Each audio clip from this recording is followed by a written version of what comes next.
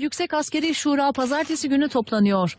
Balyoz davasında yargılanıp beraat eden 46 kurmay albayın rütbelerinin yükseltilip yükseltilmeyeceği de bu toplantıda belli olacak. Bunlar bir proje gereği tutuklandılar. Önleri kesildi.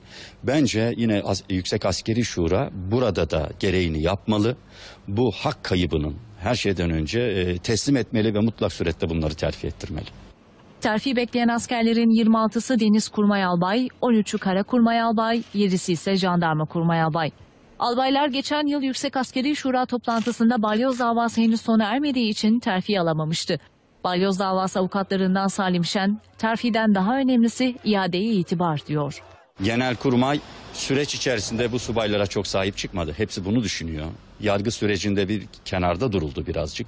Ama şimdi bir fırsattır. Genelkurmay Başkanlığı için tarihi bir fırsattır. Yaş e, sonucu mutlak surette bunların iadelerini itibar edilip e, bunların kahraman birer subay oldukları kamuoyuna mutlak surette ilan edilmeli. Cumhuriyet Halk Partisi, yargılanmaları süren Türk Silahlı Kuvvetleri personelinin terfisini olanaksız kılan kanun hükmünün kaldırılması için teklif verdi. Ergenekon, Balyoz ve askeri casusluk davaları mağdurları da Kumpas Mağdurları Yardımlaşma ve Dayanışma Derneği adı altında bir araya geldi. Dernek, hak kaybı yaşayan askerlerin terfi almaları için talepte bulunacak.